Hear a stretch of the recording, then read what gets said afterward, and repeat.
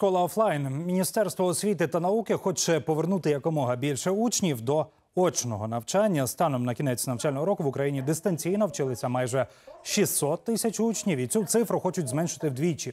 Як наслідок в соціальних мережах вже обговорюють проект наказу щодо змін у правилах дистанційного навчання, над яким працюють в уряді. У багатьох цей проект викликає навіть обурення. Зокрема, вчителі побоюються, що залишаться без роботи. Чи насправді чекають на зміни? Про це маємо змогу розпитати міністра освіти і науки е, Оксана Лісового. Він з нами на прямому зв'язку. Отже, пане міністре, дякую вам, що знайшли час для розмови. Е, Дякую вам. Доброго дня, глядачі. Доброго дня, шановні колеги. І е, так, це дійсно важливе питання для нас. Дякую, що запросили. А чому доцільно саме зараз впроваджувати зміни і виводити суттєво більше дітей саме на очне навчання, на вашу думку?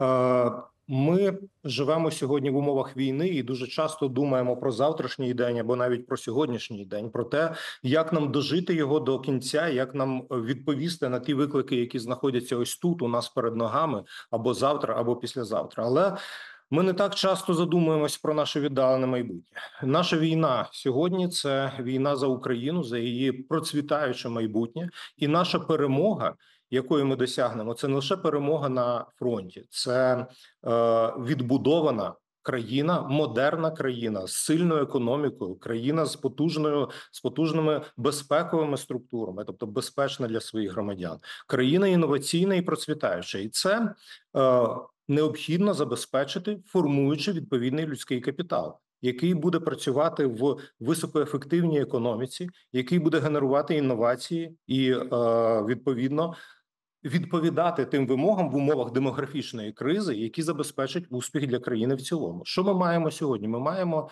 колосальні освітні втрати. Я думаю, багато хто чув е, цей термін. Хто цікавиться освітою, хто не цікавиться освітою, то я це прокоментую приблизно так: Е, дитина в восьмому класі володіє академічними знаннями на рівні шостого класу. І в 22-му році до досить відоме дослідження, яке проводила організація економічного співробітництва і розвитку, це одне з найавторитетніших досліджень в сфері освіти, зафіксувало освітні втрати тоді від півтора до двох з половиною років відставання від освітньої програми. Але це ще в 22-му році дослідження. А ще е, після цього ми мали майже два роки перебування дітей в онлайновому навчанні, перебування дітей в умовах стресу, перебування дітей, в яких постійно розривається освітній процес через тривоги, через енергетичні проблеми. І ми сьогодні розуміємо, що те суспільство, яке існувало до війни, коли ми мали фактично одну категорію дітей, діти, які навчаються в школі, от це була одна категорія. Початкова школа, базова школа, старша школа це все була одна категорія дітей. Сьогодні е, ця категорія розірвана на зовсім різні групи, для яких для кожної з яких необхідно створювати спеціальні умови навчання. Діти за кордоном перебувають в вимушеній міграції, діти е, внутрішньо переміщені, які виїхали з своїх окупованих територій або прифронтових територій всередині країни, діти, які перебувають на прифронтових територіях. Найскладніша категорія діти, які перебувають на тимчасово окупованих територіях. Це все громадяни України, і це все той людський капітал, який для України є дуже важливим. Тож ми е, нашу політику, той той наказ, який ви згадали зараз, е, розробили для того, щоб профілізувати освіту для кожної з цих категорій і зробити її максимально якісною, і подолати оті освітні втрати і інші втрати, бо є ще втрати в психоемоційному розвитку дітей, є втрати е, формування вольових якостей, є втрати в здоров'ї внаслідок тривалого перебування без фізичної активності в онлайновій освіті і багато інших.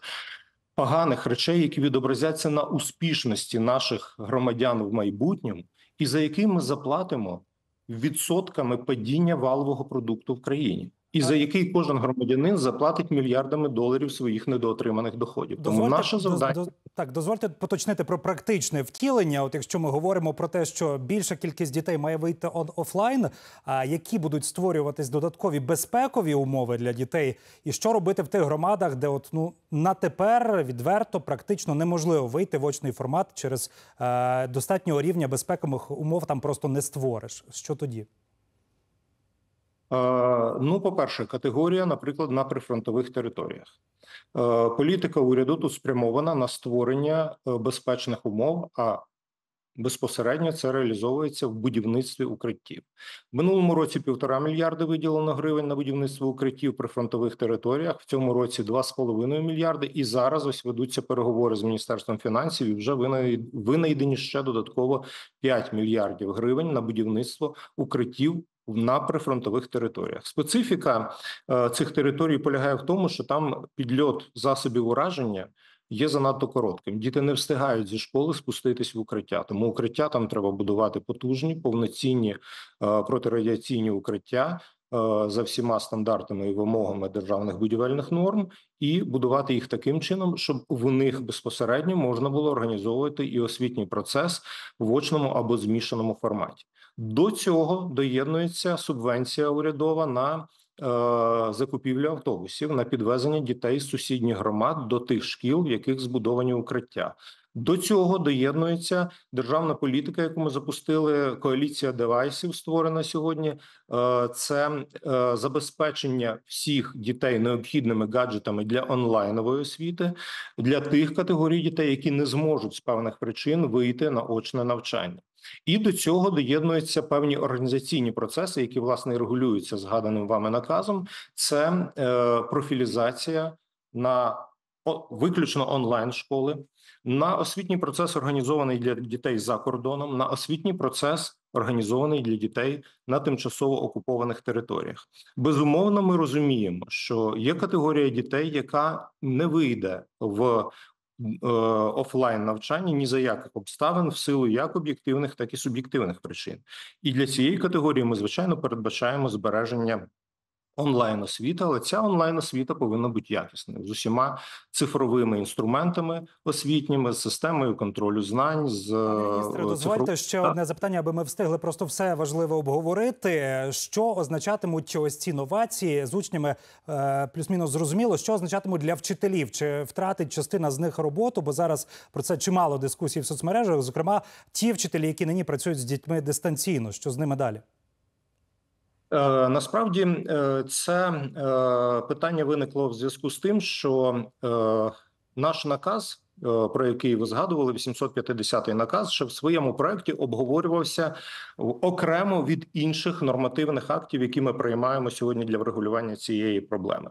І наказ регулює тільки форми освіти. Е, виходячи з моделювання по цьому наказу, частина вчителів могла втратити своє навантаження, і вона втратить своє навантаження. Питання в іншому, що ми цих вчителів всіх залучимо до інших видів освіти. Тобто, нам потрібно буде організовувати освіту для різних категорій, наприклад, освіту для дітей за кордоном, для яких треба дати виключно українознавчий компонент.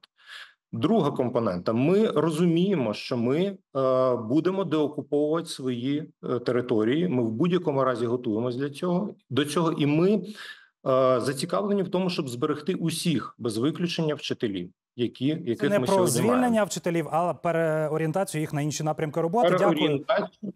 Так, і в тому числі створений кадровий резерв вчителів, і прийнято політичне рішення щодо збереження для них заробітної плати. Це важливе, це важливе уточнення. Я думаю, багатьом би важливо було це почути. Дякую вам, міністр освіти і науки Оксан Лісовий е, був е, на прямому зв'язку зі студією ТСН про зміни, які чекають нас з нового навчального року.